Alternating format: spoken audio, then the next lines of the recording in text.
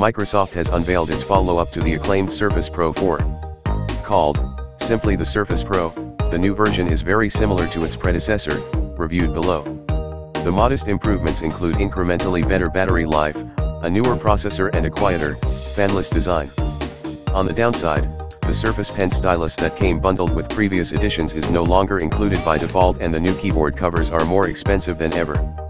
That noted, the new $799 Surface Pro, $1,027 with the Surface Pen and basic black keyboard cover, remains the gold standard for Windows hybrid PCs though it does not warrant the upgrade from current Surface Pro 4 owners. After years of development and millions of advertising dollars spent to convince us that a tablet could plausibly replace a laptop, Microsoft finally delivered the goods with the Surface Pro 4.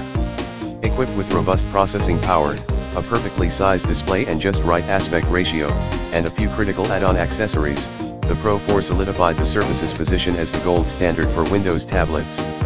And with the arrival of Windows 10 in July 2015, that which blemished all previous Surface models in an elegant operating system was finally replaced by a solid OS that could fulfill the potential of its form factor. In fact, the Surface line has become something of a category trailblazer.